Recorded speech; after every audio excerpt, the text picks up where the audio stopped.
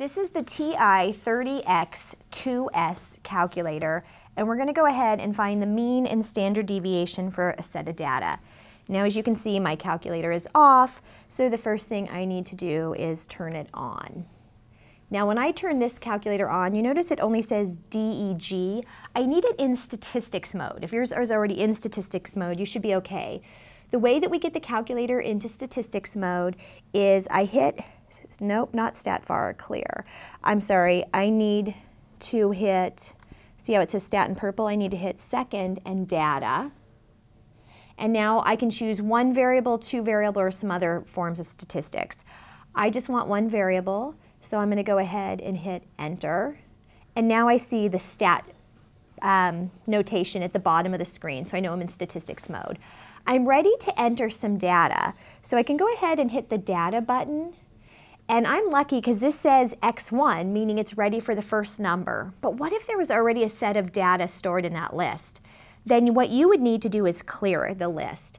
The way that you clear the list is you would hit second and data, which was the stat button. And we've seen this screen before.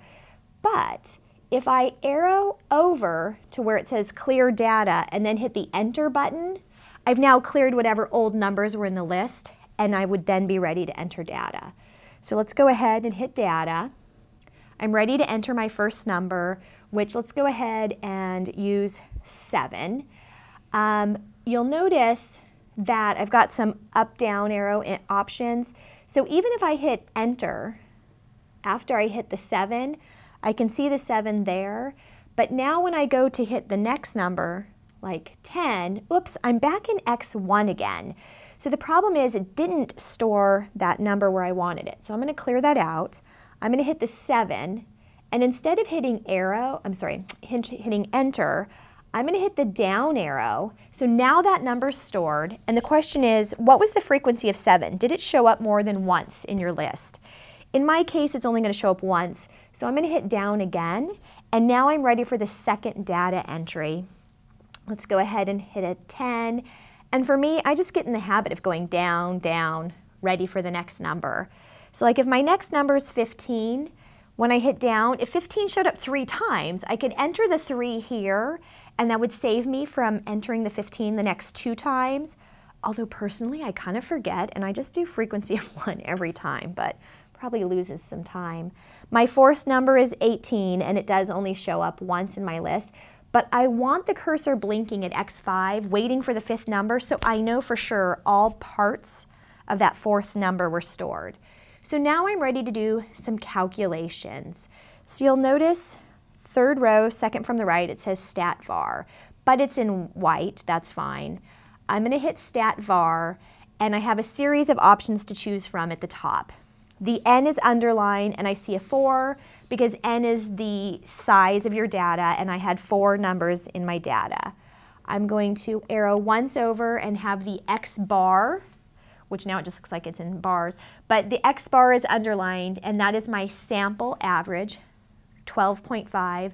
Remember x bar, the symbol for sample average, is calculated with the same formula as mu, the symbol for the population average.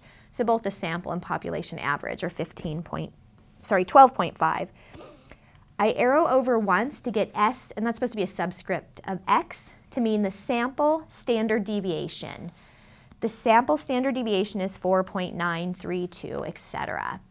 Now, if you want the sample variance, you'll notice that no matter how far you scroll over, we're never going to find that. So what you can do is leave the sample standard deviation underlined and see it on your screen. Go ahead and hit the x squared button on your calculator and you can see that we're ready to square that value and the sample variance is 24.33333. But what if that wasn't sample data you were using? What if that was population data? Then those four numbers give you, hitting stat var again, give you population information also. As I scroll over to the last option I see here, sigma sub x, sigma with a subscript of x, 4.272, etc. This number was smaller than the sample standard deviation because the population standard deviation will always be smaller. Um, I can go ahead and find the variance the same way, that I can leave that highlighted, hit x squared, see that I'm for sure getting the piece I want, hit the enter or equals button, and the population variance is 18.25. And that is how we're going to be using the TI-30XIIS.